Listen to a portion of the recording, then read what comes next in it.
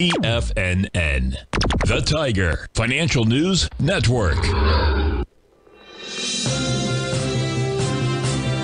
TFNN, Headline News Update.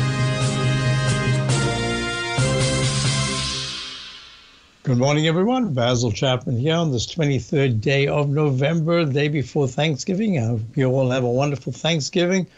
Let's look at the 10 a.m. Tiger Financial News Network market update. 69 points up in the Dow at 34,161, new recovery high. Recovery high meaning that it is now ab- above all the left side highs made since the low that was made on the 13th of October.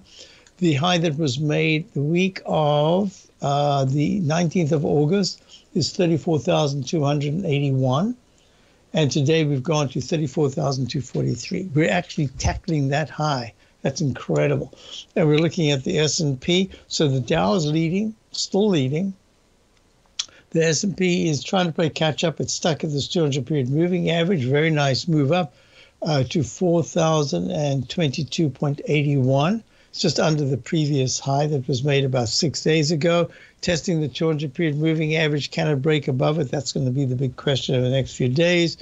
A lot of resistance there. The QQQ is trading very nicely up $1.84, 287. This is the Invesco QQQ Trust Series, the Index 100, the IWM, the Russell 2000 small caps, very nice move up.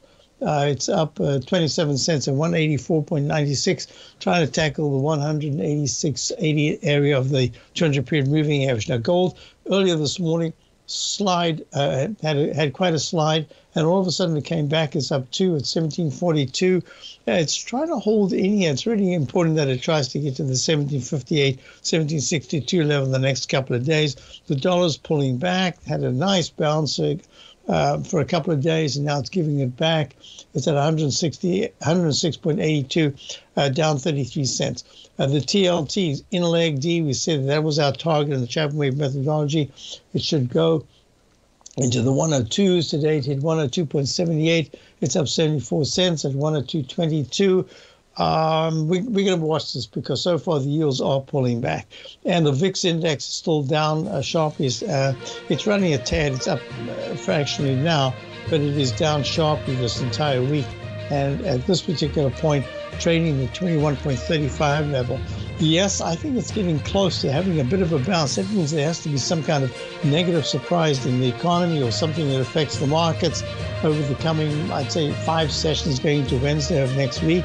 Um, but so far, this is really, really good.